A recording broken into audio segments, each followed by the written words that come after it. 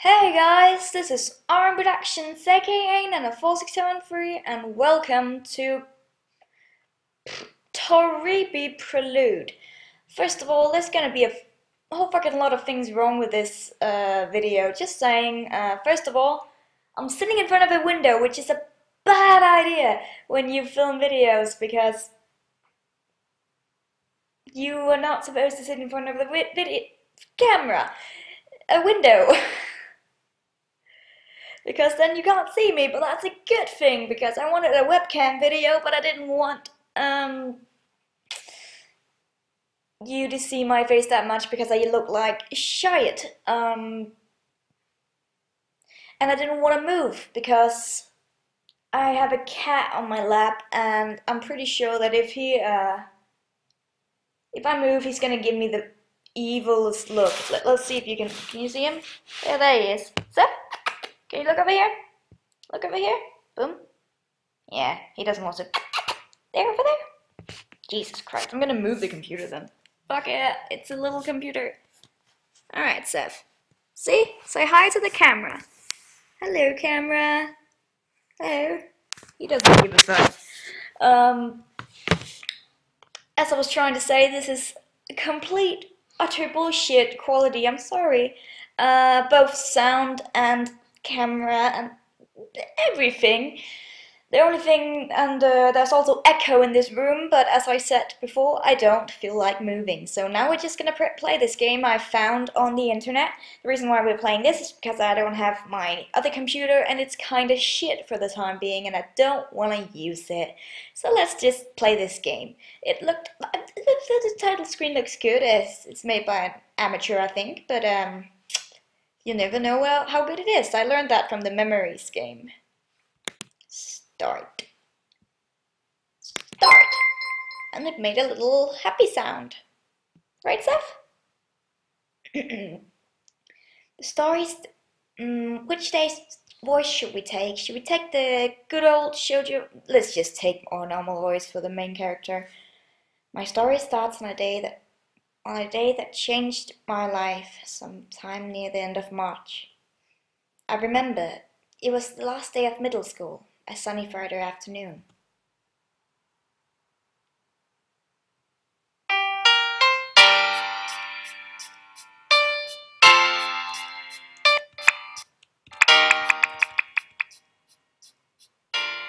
Right, that was not the art style I was waiting.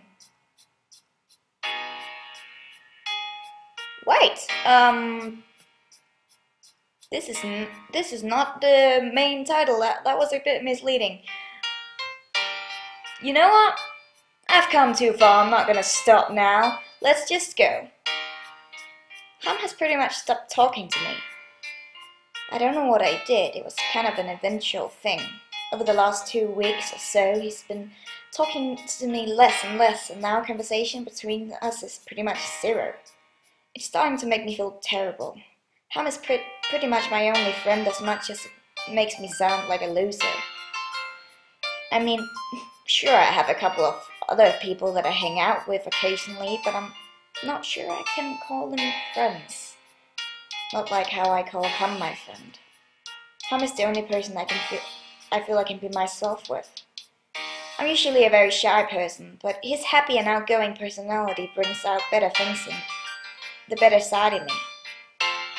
Nothing that is nothing like that is going on now though. For the past few days, Ham has been any anything but happy. I guess that's uh, made my better side get locked away too. So, uh, any plans af after school today? I've been the one who's uh, who's had started who had started to start. I can't talk to start conversations uh, between us recently, which is a really weird thing for me, uh, as Ham is usually the one who's talkative and starting our chats. I obviously I gotta gotta get up. There you go. Uh, uh, I obviously ha ha haven't been filling my new role. I just have to get into it, then I'll be there. Um, uh, well, What are you doing, Seth? I'm sorry. As Hum just shrugs and looks away. Not much, really. Not much. It's the last day of middle school. Surely you have some plans. I'm pretty hurt that Ham hasn't tried to arrange anything with me. You know, seeing as we've been friends for, for our entire lives, uh, but I decided to keep this one to myself, given his general mood lately. No, no plans. Really? You're just going home and you're just going to go home and do nothing even though you're never going to see most of our classmates ever again? I guess so. He's been so dismissive. It's unlike him, it's frustrating. But I really don't know what to say to him when he's like this, so I just carry on with small talk to avoid an awkward silence. You want to know what I'm doing after school? Um, okay. Nothing. I'm doing nothing, just like you. So maybe, I don't know, we could do something together? I'm fully expecting for him to shoot me down, say he'd rather not, but to my surprise, sh sure. He accepts. Um, what? I'm taken slightly off guard. I said, sure, let's do something. You and me. And for about the first time, uh, in about two weeks, he smiles again.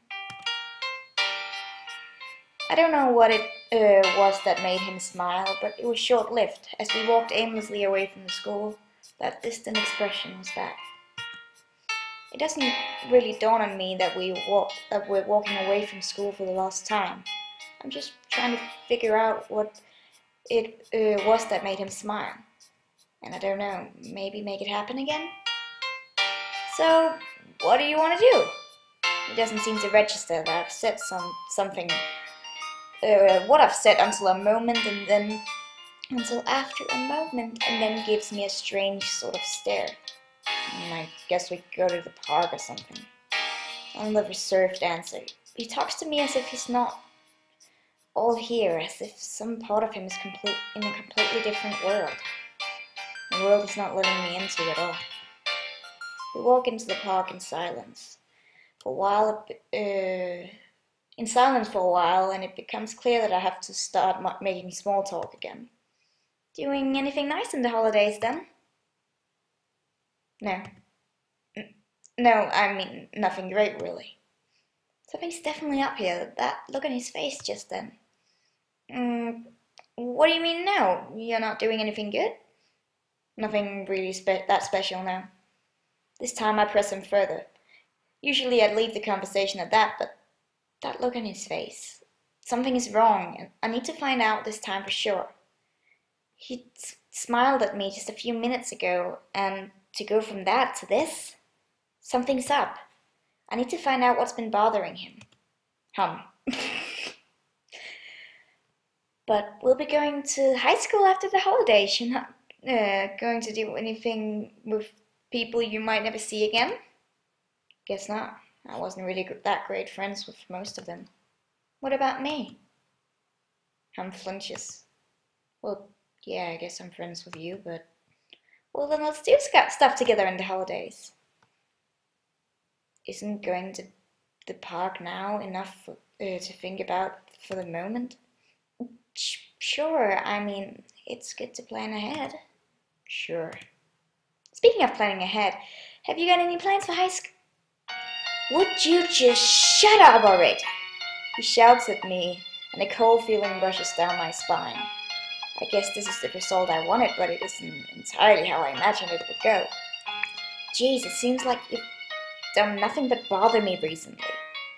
Bothering him? I guess maybe I was pushing him quite a lot then, but what's up with the recently? I grit my teeth and try not to say anything. No. I said I'd find out what's wrong. I have to answer back him back. What do you mean I've been bothering you? Fuck, no, I'm not ready for that. Fuck! Alright, can I reach the... it's okay, Seth. I'm doing fine. Ah! Sorry, it's me. It's just me, Seth. Nothing to be scared of. Alright, now I have to charge it. I just need to put it in the charging thing. How the fuck do I do that? Seth, how do I do that? Um... Oh, fuck, I'm a genius! How to do stuff without fucking moving. Yes. Alright, uh, we got the charge in now. Everything is wonderful. Uh, sorry. we talk all the time. We've been friends since birth, hum. How have I been any different in the last few weeks than how I usually am? The comment seems to take Hum by surprise, but he carries on shouting at me nevertheless. You just, just won't leave me alone. Keep, leave alone. Keep making pointless small talk with me all the time instead of leaving me be. And why do you think that is? You haven't exactly been yourself either. The Hum would have cheerfully replied to any sort of talk, talk at all, small or not. Isn't it clear I want to be left alone? I feel my fists clenching, clenching by my sides. Why is he being like this? Why? You have no reason to. Why do you want to be left all alone all, all of a sudden? I, I just... And just like that, his anger is gone. That melancholy look on his face that I saw briefly back then. I'm sorry, okay? I'm sorry, I didn't mean to shout at you. I'm seriously worried. It's not normal for someone's mood to swing back and forth so much. He snapped at me just moments ago, and now he looks like he's about to cry. I've really been a horrible person recently. I'm sorry. Walk to the park, abandoned. him and I just stand in the street, me staring straight at him, uh, and him looking down at his feet. There's silence for a few moments, then Hum starts to speak again. Look, I'll be honest with you, Maria. There's something I've been meaning to tell you. Oh God.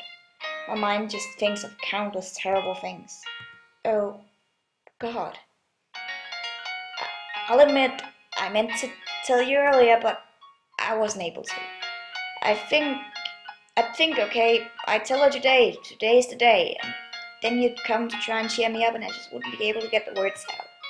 There's another silence, this one longer than the last. Stop it, stomach!